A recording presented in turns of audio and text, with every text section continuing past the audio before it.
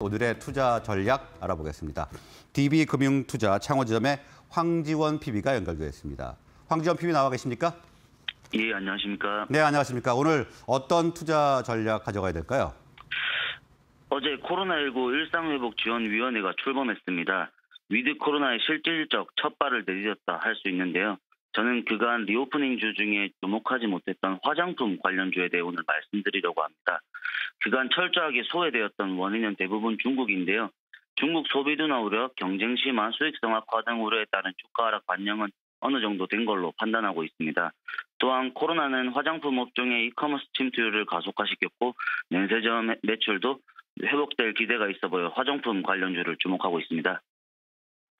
네, reopen, re, reopening 주 중에서 소외됐던 이 화장품주를 분석을 해주셨는데요. 그러면 어떤 종목 주목을 하고 계십니까?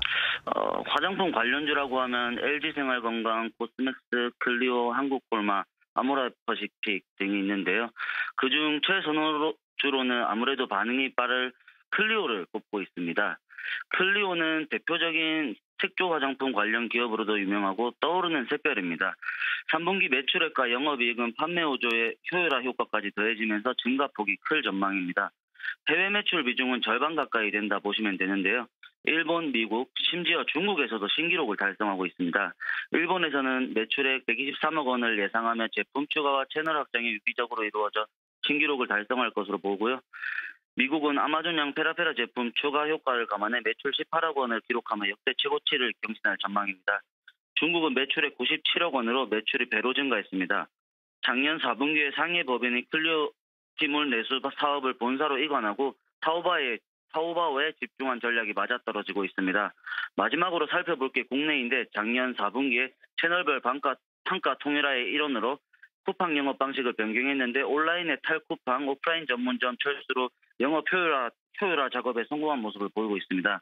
결국 정리해서 말씀드리면 어, 클리오 최선호주 관점 포인트 첫 번째는 꾸준히 증가하는 매출액과 영업이익, 두 번째는 with 코로나 시대가 본격적으로 시작되면 면세 품목의 매출 증대, 끝내는 마스크를 벗게 될 거라는 기대감 속에 빛을 발할 화장품, 마지막으로 비효율 채널 축소로 인한 영업 효율 과정에서 2022년 화장품 수요 회복 시 외형 및 이익 모멘텀이 강할 것으로 보여 관심 가지고 지켜보시면 될 것 같고 어, 목표 주가는 3만 1천 원으로 어, 12개월 선행 EPS 지배 순이익 기준에서 글로벌 피어 평균값 대비 35% 정도 할인해가지고 어, 25.5로 이렇게 잡았거든요. 지금 클리오 가진 반응이 슬슬 오고 있는 것 같으니까 화장품 관련주 최선호주로 지켜보시면 될 것 같습니다.